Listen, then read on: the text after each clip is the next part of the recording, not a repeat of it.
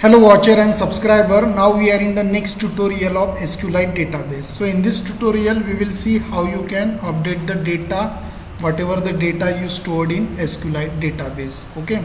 So when we update the data from SQLite database so we must have first primary key or the unique values so we stored all the unique values as a roll number so in our program roll number is nothing but primary key. All the values are unique. So on the basis of roll number means by taking the help of roll number values we can easily update the record. So whenever user want to update the record he or she will update on the basis of primary values he or she will update on the basis of roll number value okay?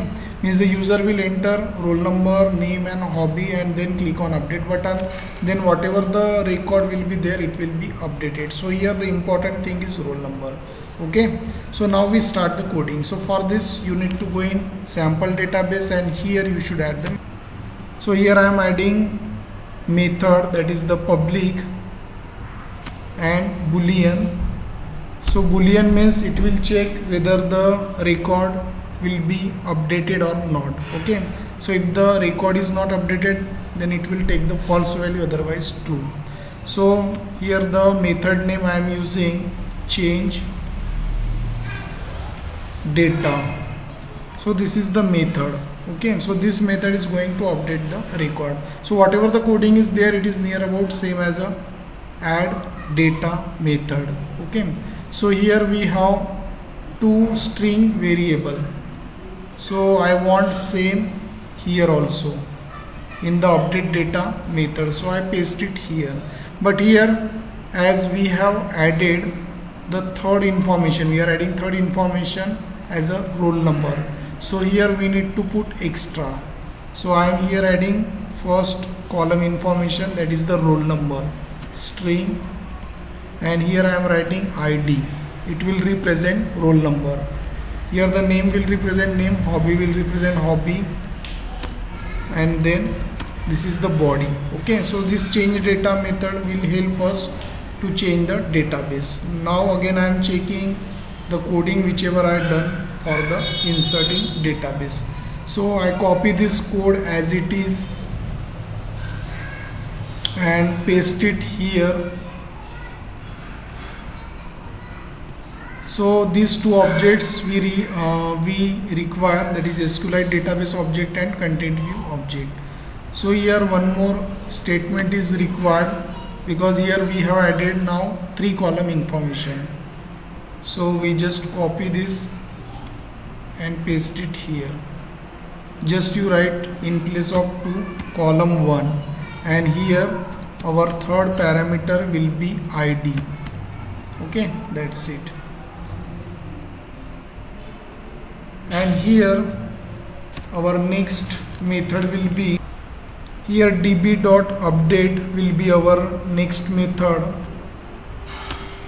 And inside the update method you should specify table name first.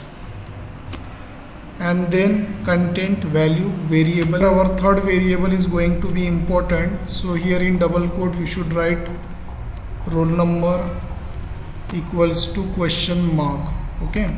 Because whatever the data we are updating that is updating on the basis of roll number. And then new string array you have to pass.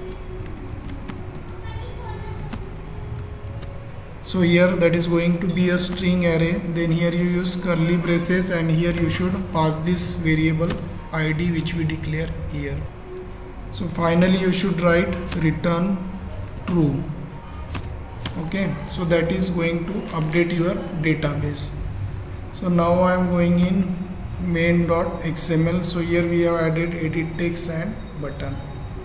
So this is main activity.java so here we should declare the variable for edit text. And here we should declare the variable for button that is UPM writing. Then after that you should do the casting for edit text and button. So here I have done the casting okay? And now here I should add method for updating the database. So that method is public void change so here change method I am using for updating data.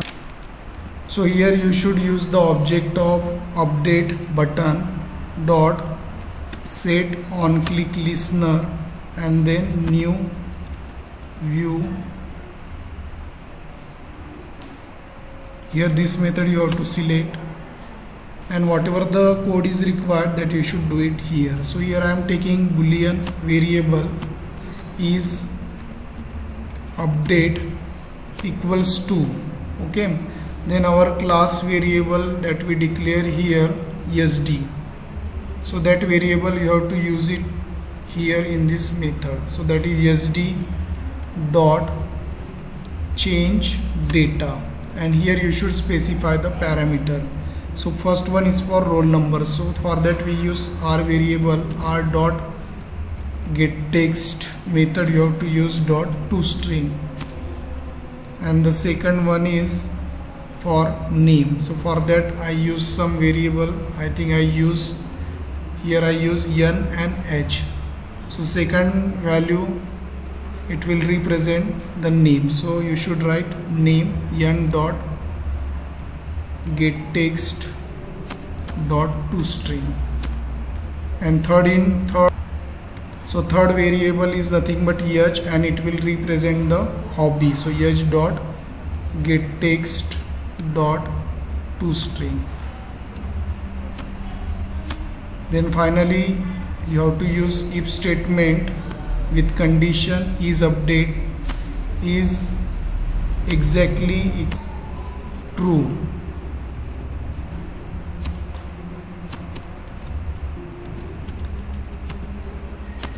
and here our toast message is data is updated.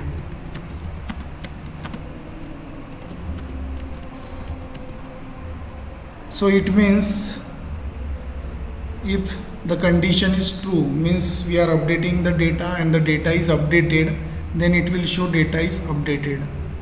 Otherwise else statement you can add here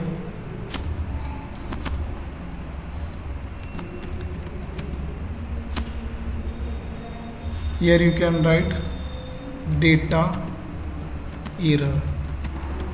If it is not updating or not updated. So finally we have done the complete coding for change method. So that change method you have to call it here. So here I am using the change method. It will call the coding whatever we have done in the change method.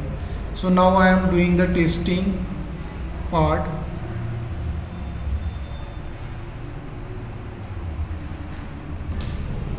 So here our app is running. So first I click on show. It will show the information in roll number 1 we have Suraj Chase uh, roll number. Okay? So what happened? I want to update this record. So for updating this record first I write roll number or you can write name or hobby first no problem. So in the first record I want Raj name. Hobby cricket. And then click on update button. Our data is updated now click on show you see whatever the data is there it is updated. Name that is Raj and hobbies cricket. So in this way you can easily update the record on the basis of primary key that is roll number. So I hope friend you understood this tutorial. And don't forget to subscribe my channel if you are new in the channel. Thank you